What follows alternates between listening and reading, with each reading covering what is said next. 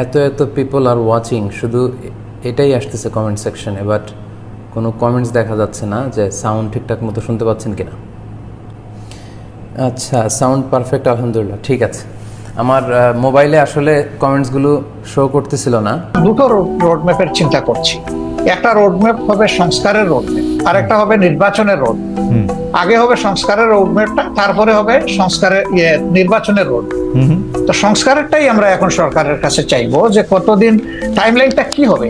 বিভিন্ন তারা তো সবকিছু সংস্কার করতে পারবেন না। বেসিক জিনিসগুলো সংস্কার করে যাতে একটা তারা neutral fair and credible election যা থেকে তারা উপহার দিতে পারেন সেটার জন্যই তাদেরকে আমরা সর্বাত্মক সহযোগিতা করতে চাই।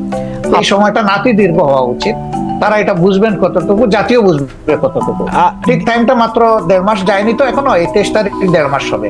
আচ্ছা। আমরা একটু অবজার্ভ করছি ওকে একটু সময় নিচ্ছি। ওকে নির্বাচন সংস্কারের প্রসঙ্গটা আমরা একটু পরে আসি বা আপনি যখন বলবেন তখন বলতেই পারেন। সংবিধান সংস্কারের প্রসঙ্গে আমি আপনার কাছে জানতে চাইতে পারি যে আপনাদের গঠনতন্ত্র পরে আমি যতটুকু বুঝেছি বা আপনাদের কথা শুনে আমি যতটুকু বুঝেছি যে আপনারা আসলে কোরআন এবং রসুলের বাণী ছাড়া রহমতুল্লাহি বরাকাত আলা রসুলহিল করিম। কাছে কিংবা দূরে, বাংলাদেশ থেকে কিংবা পৃথিবীর অন্য কোনো দেশ থেকে যারা আজকের এই লাইভ প্রোগ্রামটিতে যুক্ত হয়েছেন কিংবা যুক্ত হবেন, আপনাদের সবাইকে জানাচ্ছি আন্তরিক শুভেচ্ছা এবং মোবারকবাদ। জামাত ইসলামের আমির কিছুদিন আগে বিতর্কিত একটি বক্তব্য দিয়ে প্রচুর পরিমাণে ভাইরাল হয়েছিলেন এবং এই ব্যাপারটি নিয়ে তিনি অনেক কথা শুনেছেন যে আওয়ামী লীগকে তিনি মাফ করে দিয়েছেন মানে আওয়ামী লীগের সঙ্গে কি তিনি জোট করতে চেয়েছেন এরকম কিছু কথা হয়েছিল। কিন্তু বন্ধুরা, আজকে খালেদ মহিউদ্দিনের টক শোতে আসলেন তিনি এবং এই ব্যাপার নিয়ে অনেক কোশ্চেন করল এবং খালেদ মহিউদ্দিন তো কেমন আপনারা সকলে জানেন? কি পরিমাণের প্রশ্ন করেন ক্রিটিক্যাল ওখানে কে হুজুর, কে আওয়ামী লীগের নেতা, কে বিএনপি নেতা তিনি কখনোই দেখেন আজকের যে ইন্টারভিউটা নিলেন, আপনাদেরকে আমি পুরো ইন্টারভিউটাকে বাছাই করে ভালো ভালো কথাগুলো একত্রিত করে আপনাদেরকে আজকে দেখাবো। এবং আপনারা দেখুন কি পরিমাণের প্রশ্ন করছেন জামাতের আমিরকে এবং জামাতের আমির, এই ব্যাপারটির উত্তরগুলো কীভাবে দিলেন? আজকের ভিডিওটি মানে জামাতের আমিরকেও আটকানোর চেষ্টা করেছিলেন আজকের কথার মধ্যে। চলুন আমরা এখন সরাসরি সেই ভিডিওটি দেখব এবং যারা এখন পর্যন্ত চ্যানেলটিকে সাবস্ক্রাইব করেন এরকম নিত্য নতুন আপডেটগুলো পাওয়ার জন্য অবশ্যই চ্যানেলটিকে সাবস্ক্রাইব করবেন। চলুন আমরা এখন দেখে আসি তাদের ইন্টারভিউটি কি বললেন? জামাত ইসলামের আমির কি উত্তর দিলেন?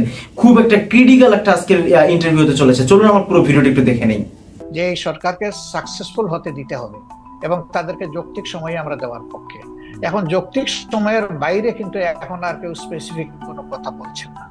কাজে এই জায়গায় আমাদের একটা ঐক্য হয়ে গেছে। এখন প্রশ্ন দাঁড়াতে পারে যে এই যৌক্তিক সময়টা কতটুকু? তা আমরা দুটো রোডম্যাপের চিন্তা করছি। একটা রোডম্যাপ হবে সংস্কারের রোডম্যাপ আর একটা হবে নির্বাচনের রোড আগে হবে সংস্কারের রোডম্যাপটা তারপরে হবে সংস্কারের ইয়ে নির্বাচনের রোড তো সংস্কারেরটাই আমরা এখন সরকারের কাছে চাইব যে কতদিন টাইমলাইনটা কি হবে? বিভিন্ন তারা তো সবকিছু সংস্কার করতে পারবেন না। বেসিক জিনিসগুলো সংস্কার করে যাতে একটা তারা neutral fair and credible election যা থেকে তারা উপহার দিতে পারেন সেটার জন্যই তাদেরকে আমরা সর্বাত্মক সহযোগিতা করতে চাই। এই সময়টা নাতি দীর্ঘ হওয়া উচিত। তারা এটা বুঝবেন কতটুকু জাতীয় বুঝবে কতটুকু। ঠিক টাইমটা মাত্র দেড় মাস যায়নি তো এখনও এই তেইশ তারিখ দেড় মাস হবে। আচ্ছা। আমরা একটু অবজার্ভ করছি Okay. একটু সময় নিচ্ছি। ওকে নির্বাচন সংস্কারের প্রসঙ্গটা আমরা একটু পরে আসি বা আপনি যখন বলবেন তখন বলতেই পারেন। সংবিধান সংস্কারের প্রসঙ্গে আমি আপনার কাছে জানতে চাইতে পারি যে আপনাদের গঠনতন্ত্র পরে আমি যতটুকু বুঝেছি বা আপনাদের কথা শুনে আমি যতটুকু বুঝেছি যে আপনারা আসলে কোরআন এবং রসুলের বাণী ছাড়া অন্য কোনোভাবে অন্য কোনো কিছুই আপনারা মানে আপনাদেরকে পড়লে আরেকটু পরিষ্কার হবে যে আবারও বলি, কেবল আল্লাহ তালার বিধানকেই একমাত্র হিদায়ত হিসেবে মানিয়ে নেওয়া, আল্লাহ তালার দেওয়া শরীয়তের বিপরীতে যাবতীয় নিয়মিত পন্থা পদ্ধতিকে প্রত্যাখ্যান করা। এখনকার যে গণতান্ত্রিক সিস্টেম সংবিধানের সিস্টেম সেটা তো অনেকটা ওয়েস্টার্ন ডেমোক্রেটি ডেমোক্রেসি বা যেটাকে আমরা বলি যে ওয়েস্টমিনিস্টার ডেমোক্রেসি সেইটার আদলে অনেকখানি করা। তো সেইটা কি আপনাদের সাথে সাংঘর্ষিক? না আপনারা যদি এটা পরিবর্তন করেন আপনাদের মতের সাথে আর কি? না মোটেই না। মত এটা যদি আপনি পরিবর্তন করেন তাহলে কি আপনাদের মতো করে সংবিধান পরিবর্তন হবে? না কি? না আমি আগেই বলেছি যে প্রত্যেকটা দলের এক একটা আদর্শ থাকবে। এটা খুবই স্বাভাবিক। একটা পলিটিক্যাল আইডিওলজি তার থাকবে। সবার আছে। সংবিধানটা কেমন যে যারটা ভেন্টিলেট করবে। Democracy itself not a ism এটা একটা প্রসেস আপনি ইজমে যাবেন মানুষের কাছে আপনার প্রোডাক্ট আপনি ফ্লোট ফ্লোট করবেন আপনার বক্তব্য আপনি তুলে ধরবেন আপনার আদর্শ আপনি তুলে ধরবেন।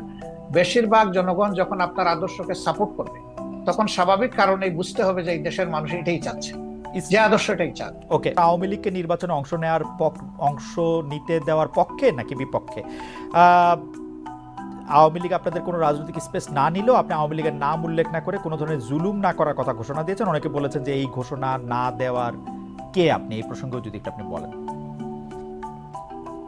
না এই ঘোষণা দেওয়ার কে প্রশ্ন করেছে? জি। আসলে আমি আওয়ামী লীগের নাম নেই নাই আর আওয়ামী লীগকেও আমি ইন্ডিকেট করি শুধু আওয়ামী লীগ আমাদের উপরে জুলুম করে নাই আরও অনেক পক্ষ আমাদের উপরে জুলুম করেছে। দল হিসাবে আমাদের উপরে যে জুলুমটা করা হয়েছে যেমন ধরেন আমাদের নিবন্ধন কেড়ে নেওয়া হয়েছে আমাদের প্রতীক কেড়ে নেওয়া হয়েছে আমাদের অফিসগুলা সিলগালা করা হয়েছে আমাদের শেষ পর্যন্ত তারা দিশাহারা হয়ে আমাদেরকে নিষিদ্ধ ঘোষণা করেছে। এই যে কাজগুলা দলের দলের উপরে যে জুলুম করেছে আমরা বলছি যে এটা প্রতিশোধ আমরা নেব কারণ প্রতিশোধ প্রতিহিংসার জন্ম নেই আর প্রতিশোধ যখনই নিতে যাব তখন আইন হাতে তুলে নেওয়া হয়। হুম। আমরা আইন হাতে তোলার নেওয়ার ব্যাপারে আমরা বিশ্বাসী। কিন্তু সাথে সাথে এই কথাটা আমরা বলেছি যে ভিকটিম এবং ভিকটিম ফ্যামিলি যদি আইনের আশ্রয় নেয়, এটা তাদের রাইট ন্যায় বিচার পাওয়া। তাহলে আমরা তাদেরকে সর্বাত্মক সহযোগিতা করব। আমরা স্ট্যান্ড থেকে সরি আমাদের স্ট্যান্ড আছে। এখানে আওয়ামী লীগের নামও নেওয়া হয়নি, আওয়ামী লীগকে ইন্ডিকেটও করা হয়নি। এটা ছিল একটা সামগ্রিক বক্তব্য। আমার এই বক্তব্যটাকে টুইস্ট করা হয়েছে। যে জামাতের আমির আওয়ামী লীগকে ক্ষমা করে দিয়েছেন এবং সাধারণ ক্ষমা ঘোষণা করেছেন। প্রথমটা তো নাই দ্বিতীয়টা করার আমি কে? একটা রাষ্ট্রে সাধারণ ঘোষণা করার একমাত্র ব্যক্তি হচ্ছেন রাষ্ট্রপ্রধান যিনি অর্থাৎ প্রেসিডেন্ট। তিনি ছাড়া প্রধানমন্ত্রী এটা পারে না আর কেউই পারে না। আমি কে? এটা করার আমার তো কোনো অধিকার নাই। বরঞ্চ আমরা বারবার বলে আসছি যে যাদের উপরে জুলুম হয়েছে যারা ক্ষতিগ্রস্ত হয়েছে নিহত আহত গুম হয়েছে তার সম্পদ হারা হয়েছে চাকরি হারা হয়েছে তারা অবশ্যই মামলা করবে এবং তাদেরকে আমরা সঙ্গত সহযোগিতা আচ্ছা এটি অবশ্য আমাদের একটি প্রশ্ন, কারণ হচ্ছে যে পত্রপত্রিকা যেটি ছাপা হলো আওয়ামী লীগকে ক্ষমা করে দেওয়ার ঘোষণা জামায়াতের আমিরের। অনেকেই বলেছেন যে আপনি হয়তো খোলা মনে সাদা মনে সেই ক্ষমাটি ঘোষণা করতেই চেয়েছেন। কিন্তু পরে যখন আপনার দলের লোকেরা বা আপনি ফিরে গিয়ে চাপের মুখে সেটি আবার একটু বক্তব্য অন্যরকম করছেন বিষয়টি কি ঠিক? মোটেই না। আমি মোটেই না। আমার বক্তব্য টুইস্ট করা হয়েছিল সেটাকে আমি ক্লিয়ার করেছি। কোনো চাপও ছিল না আমার উপরে এবং আমি এখানে কোনো হীনমন্যতায় ভুগিনি। আমি যা ভালো মনে করেছি খোলা মনে সেটি বলেছি আচ্ছা একটি প্রশ্ন আরেকটি প্রশ্ন আসতে চাই সেটা হচ্ছে বৈষম্য বিরোধী যে ছাত্র আন্দোলনের যে রাজনৈতিক প্ল্যাটফর্ম সেটি নিয়ে আমি সরি একটু আপনাকে ইন্টারাপ্ট করব। আপনি বলেছিলেন যে আওয়ামী লীগ নির্বাচনে আসুক তারা রাজনীতি করুক এটা আমি চাই। জি। আগে আওয়ামী লীগকে ডিসিশন নিতে হবে তারা আসলেই রাজনীতি করবে কিনা তারা আসলেই রাজনীতি চায় কিনা। কারণ তারা যখনই ক্ষমতায় গিয়েছে তখন তো তারা রাজনীতির বাইরে চলে গেছে। প্রথম পিরিয়ডে শেখ মুজিব সাহেব জীবিত থাকা অবস্থায় তো তিনি বহুদলীয় গণতন্ত্রকে একদম শেষ করে দিয়ে একদলীয় বাক- বাকশাল কায়েম করেছে আওয়ামী লীগ যখনই ক্ষমতায় এসেছে সেই জিনিসটাই এস্টাবলিশ করার চেষ্টা করেছে। এবারও তারা কিন্তু সে পথেই হাঁটছিল এবং তাদের নেতারা বলতেন যে আমরা বাকশালের চেতনা অন্তরে ধারণ করি। সাংঘাতিক কথা। বাকশালের চেতনা যদি ধারণ করেন তো আওয়ামী লীগের নামে রাজনীতি করেন কেন? তাহলে তো তাদের সাহস করে বাকশালের নামেই রাজনীতি করতেন দেখতেন যে জনগণ তাদেরকে কীভাবে রিসিভ করে। সেটা তো তারা করেননি। এই জন্য আওয়ামী লীগ আদৌ রাজনীতি করবে নাকি ফেসিজম করবে আগে আওয়ামী লীগ বিশ্ব নেই। আচ্ছা এই প্রসঙ্গে আমি একটু জানতে চাই। ছিয়ানব্বই সালে যখন বিএনপির বিরুদ্ধে আপনারা তত্ত্বাবধায়ক সরকার কায়েম করার জন্য আন্দোলন করছিলেন তখন কি আওয়ামী লীগের সাথে আপনারা যুথবদ্ধ হয়ে রাজনীতি করেছিলেন? না না আমরা কোনো জোট গঠন করিনি। তবে মাঝে মধ্যে তাদের সাথে আমাদের যৌথ সভা হয়েছে কিন্তু কোনো জোট আমরা করি আর সেই ইস্যুটাও দেখেন সেটা ছিল কেয়ারটেকারের ইস্যু একটা- আগামীতে যদি আরও একটি মানে যৌক্তিক ইস্যু আপনাদের সামনে আসে আপনারা আওয়ামী লীগকে সাথে নিয়ে এরকম করবেন কিনা? না আমরা আওয়ামী লীগকে সাথে নেইনি।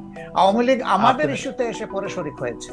এবং শরিক হইতে গিয়ে তারা আমাদের ইস্যু হাইজাক করতে চাইলেন। স্বয়ং শেখ হাসিনা বলে ফেললেন যে এটা তার মানুষ মানে তার ব্রেইনের প্রোডাক্ট ব্রেইন চাইল্ড এই কেয়ারটেকার সরকার মানুষ হাসলো এটা নিয়ে যে এর দুই বছর আগে জামাত ইসলামের পক্ষ থেকে Abbas Ali Khan on behalf of professor Ghulam Azam তিনি কিন্তু এই কেয়ারটেকারের ফর্মুলার জাতির সামনে উত্থাপন করেছিলেন একটা জনসভার মাধ্যমে। আওয়ামী লীগ দুই বছর পরে এসে বলে যে এটা তাদের আবেদন আমরা হাসলাম। তা আওয়ামী লীগের এইরকম ক্রেডিট হাইট্যাক করার আরও বহু ইতিহাস আছে সেটা বলতে গেলে অনেক সময় লাগবে। এটি একটু জানতে চাইব যে আপনার কাছে যে বৈষম্য বিরোধী ছাত্র আন্দোলন রাজনৈতিক প্ল্যাটফর্ম জাতীয় নাগরিক কমিটি গঠন করেছে। আপনি জানেন যে সমন্বয়কেরা জেলায় জেলায় মত বিনিময় সভা করছেন তারা রাজনৈতিক দল প্রতিষ্ঠার দিকেই যাচ্ছেন বলে মনে হচ্ছে। বিএনপি এর মধ্যে বিষয়টি স্পর্শ করেছে যে তারা এটি ভালোভাবে দেখছে না। আপনাদের দল কীভাবে দেখছে? আসলে তারা এখনও বলে নাই যে তারা দল গঠন একবার বলেছিল দুই মাসের মাঝে একটা দল গঠন করবে। পরবর্তী পর্যায়ে তাদের সমন্বয়করা আবার বলেছে যে না এরকম কোনো সিদ্ধান্ত আমরা নেই আর নাগরিক কমিটি গঠনের ব্যাপারে তারা উদ্দেশ্য বলেছে যে আমরা কোনো এটা কোনো দল নয় কোনো রাজনীতির প্ল্যাটফর্ম নয়। বরঞ্চ সরকারকে বিভিন্ন দিক থেকে আমরা একটা প্রেশার গ্রুপ হিসাবে কাজ করব যাতে কোনো সরকার ডাইনেভাবে ডেবিট হয়েছে না। তারা যদি এতটুকুতে থাকে তাইলে আমার কোনো মন্তব্য নাই। আপনি যদিও বলেছেন কিন্তু আপনাকে পেলাম বলে প্রশ্ন করেই রাখি বাংলাদেশের জাতীয় সংগীত নিয়ে আপনার অবস্থান কি বা আপনি কি মনে করেন কি মনে করছেন? থাকা উচিত একেবারেই স্পষ্ট। জি। আপনার এই সময় একটা প্রশ্ন এসেছে বলে নিশ্চয়ই আপনি প্রশ্ন করছেন। জি। আমরা সাথে সাথেই কিন্তু আমাদের পক্ষ থেকে এটা ক্লারিফাই করেছি এবং আশা করি আপনি সেটা জানেন। আচ্ছা আপনি যদি দর্শকদের উদ্দেশ্যে আবার একটু বলে দিতেন। দর্শকদের অনেকে এই প্রশ্ন আমরা যেটা বলেছি যে একজন সাবেক সেনা অফিসার, ঊর্ধ্বতন সেনা অফিসার, যিনি আট বছর তিনি আয়নাগরে ছিলেন, মুসলিম ছিলেন, তিনি একটা ভার্চুয়াল প্রেস কনফারেন্সে দুটো কথা বলেছেন। একটা জাতীয় সঙ্গীতের ব্যাপারে আর একটা মুক্তিযুদ্ধে হতাহতের সংখ্যা ব্যাপারে। তা আমরা বলেছি যে এটা তার বক্তব্য, আমাদের প্রতিনিধিত্ব নয়। এবং তিনি কোনো পর্যায়ে জামাতের সাথে সাংগঠনিকভাবে সম্পৃক্ত নন। তবে হ্যাঁ তিনি আমাদের শ্রদ্ধার পাত্র এই অর্থে যে তিনি একজন মুসলিম মানুষ এবং তার জুলুমটা করা হয়েছে সম্ভবত তার পিতা জামাত ইসলামের সাবেক আমির, অধ্যাপক আজম ছিলেন সেই কারণে। এটা তো আমাদের জন্য ব্যথা এবং বেদনার কারণ। এটা আমি না শুধু, এটা গোটা জাতির অনেকেই তার ব্যাপারে সমবেতি বা ইয়ে করে। কিন্তু আমরা এটা পরিষ্কার করেছি যে তার বক্তব্য জামাত ইসলামের বক্তব্য নয়। ডক্টর শফিকুর রহমান, দুই হাজার তেরো সালে গণজাগরণ মঞ্চ পরে আবার তাদের বিপরীতে হেফাজত ইসলামী মাঠে নামে শাপলা চত্বরে সরকারের পতনের আন্দোলন, আওয়ামী লীগ সরকার কোনো মতে ঠেকায়। পরে আবার আওয়ামী লীগ সরকারের হেফাজতের মধ্যে এক ধরনের একটা বোঝা পড়া হয়। শেখ হাসিনা ইভেনচুয়ালি কওমি জননী উপাধি লাভ করেন। সরকারের মডেল মসজিদ নির্মাণ কওমি সার্টিফিকেটকে এম এর সমতুল্য বলা। এগুলিকে আপনি কীভাবে দেখেছেন কীভাবে দেখেন? হেফাজতে ইসলামের সাথে বা হেফাজতে ইসলামের এই কার্যক্রমকে জামাতে ইসলামী কীভাবে দেখে? আমি সরকার তৎকালীন সরকারের আচরণকে নিষ্ঠুর রসিকতা হিসাবে নিষ্ঠুর রসিকতা। আর কিছু কি একটু ব্যাখ্যা করবেন বা একটু বলবেন যে কেন নিষ্ঠুর রসিকতা দেখেন? হ্যাঁ, তাহলে তারা সরকারের আচরণকে যদি একদিকে যেমন তাদেরকে সার্টিফিকেটের আমি একটু প্রশ্ন রিকগনিশন দিয়েছেন। জি। তাদেরকে তাদের একজন কৌমি জননী বানিয়েছেন শেখ হাসিনাকে। এটা সমস্ত কৌমি অঙ্গনের লোকদের বক্তব্য না। এবং যে মিটিং এ এই সরওয়ার্ডি উদ্যানে এটা করা হয়েছে সেখানে কিন্তু দেশের খ্যাতনামা প্রবীণ আলিমরা বলতে গেলে জানি নাই। তারা বহু চেষ্টা করা হয়েছে চাপ দেওয়া হয়েছে তারা সেখানে অংশগ্রহণ করেন নাই।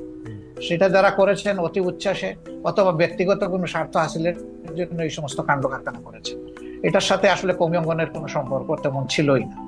দুই নম্বর হচ্ছে আপনি দেখেন যে তাদেরকে বাইশ সালের একটা ঘটনার পরে যেভাবে হাজার হাজার আলিমকে জেলে নেওয়া হলো এবং অত্যন্ত নিষ্ঠুর আচরণ তাদের সাথে করা হলো। বছরের পর বছর রাখা হলো। প্রবীণ আলিমদেরকে তাদের পায়ে বেড়ি পরানো হলো, হাতে হ্যান্ডকাপ লাগানো হলো, কোর্টে টানা এসা করে এইভাবে এক জেল থেকে আরেক জেলে এই অবস্থায় নেওয়া হলো। এটাকে কি বলব? আপনি কি বলবেন? আমি কি বলব? এটাকে নিষ্ঠুর রসিকতা না? হেফাজত একদিকে আপনি হেফাজতে ইসলামীকে আপনি কি বলবেন? দাওয়াত দিয়ে হেফাজতে ইসলামীকে আপনি কি বলবেন? কওমি সার্টিফিকেটকে কওমি সার্টিফিকেট প্রচণ্ড তারা চাপের মুখে ছিলেন। তারা যে সার্টিফিকেটটা পেয়েছেন এটা তো কোনো দয়ার দান নয়।